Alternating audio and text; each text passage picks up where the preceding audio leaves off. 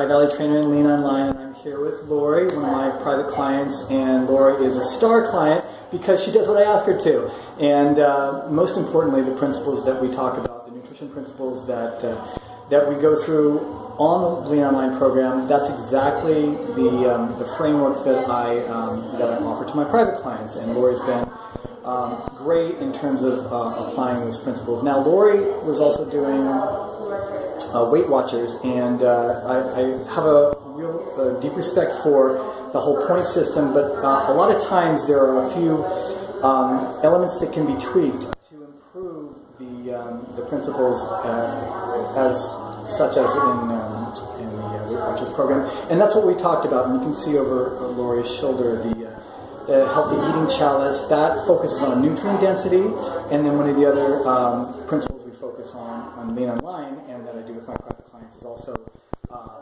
tapering calorie intake in toward the day. So, um, Laurie, maybe you can talk a little bit about the, um, the adjustments we made uh, to your, your program, to your eating uh, approach.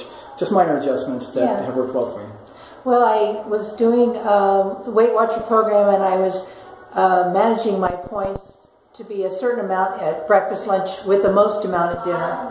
And Dan had me just switch it so that the points that I was using for dinner, uh, some of them went towards my breakfast and lunch, and my dinner became much, much smaller.